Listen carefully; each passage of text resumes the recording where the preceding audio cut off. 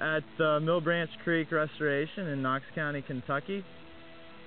Uh, we've done this restoration for a number of reasons, the most important of which is a threatened minnow that's here in the stream. It's the black-sided dace. This is the black-sided dace. It's native to eight counties in Kentucky and three in Tennessee. It's endemic to headwater streams, and these are just starting to get a little breeding color. You see the distinctive black stripe and some speckling and a black line, and they'll get rosy lips as they uh, as they get progress further on into the spring. These are these are adult fish, very unique, excellent indicator of good water quality.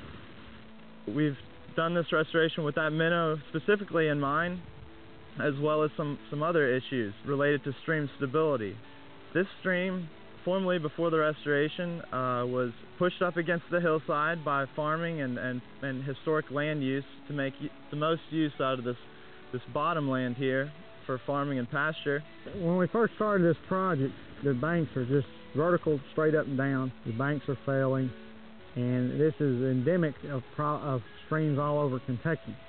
It's also a major uh, contribution to of sediment into the streams, which it kills mussels it, it, it, affects the fishery, not just from an endangered species, but from a, a smallmouth and a just uh, from a, a, game species. It, it, affects water quality. Sedimentation is the biggest pollutant we have in the world. It, it uh, all, all this sediment dumping in here, plus the landowners losing land. Since this project started, he's lost about a foot and a half, two feet of his stream bank into the into the stream, which is the initial thing. Now this is the reason we started working on it.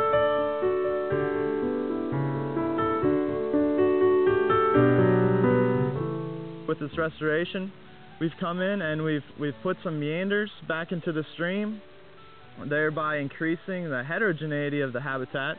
So we've got some nice pools, some deeper pools, and some some riffles with some smaller habitat within the riffles. And uh, one thing we've done on this creek is we've used a lot of a lot of wood to improve habitat, and also to improve stability of the stream. A lot of this wood looks like it's just randomly placed in the stream, but in actuality, it routes the flow and, and sediment through the pools and riffles in such a way that it, it provides habitat and provides bank protection and keeps the, the stream banks from eroding and the bed from eroding. Something else we've done with this stream is constructed a floodplain.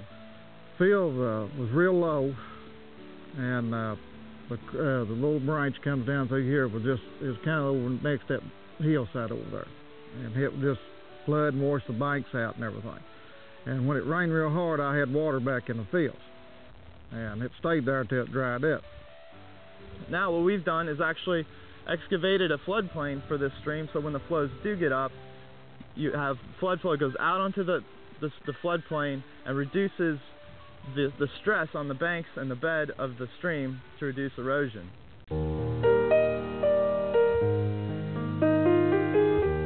The stream before the restoration was over against the hillside, so during times of drought, uh, it was high above the groundwater. This was completely dried up during the summer, during this severe drought. There's about 10 pools up in the upper part, about middle ways of Mill Branch, that had enough groundwater to survive. Now with the new stream, we've actually excavated these pools into the groundwater below the water table, so that even in times of drought, the fish will have access to water and not be left high and dry. An integral part of designing this stream was putting in the culvert for fish passage. What you see behind me is the start of a new fish crossing and roadway crossing over Mill Branch. This large hole in the ground used to be two four-foot diameter pipes, and with time, those the stream degraded to the point where the pipes were 18 inches above the stream, something that no fish in, in any of these headwaters could pass through. What we're replacing it with is a nine foot diameter concrete pipe.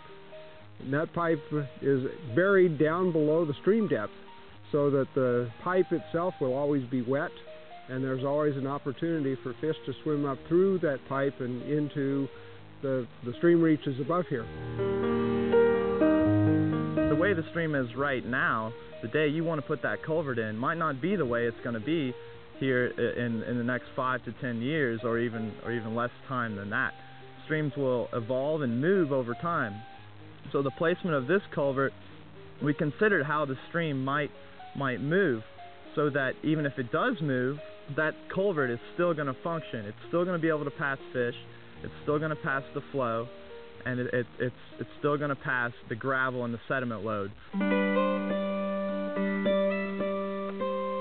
If we're going to restore these streams and, re- and be proactive in recovery of endangered species, we have to work within the realms of where the organisms are and within the strength of the private landowners because the majority of Kentucky is privately owned. I was optimistic about this because we've always had this flooding problem out here on this other end, and it, this will really take care of that, and that, that'll help everybody in the community, you know, as far as not just me, it'll help everybody.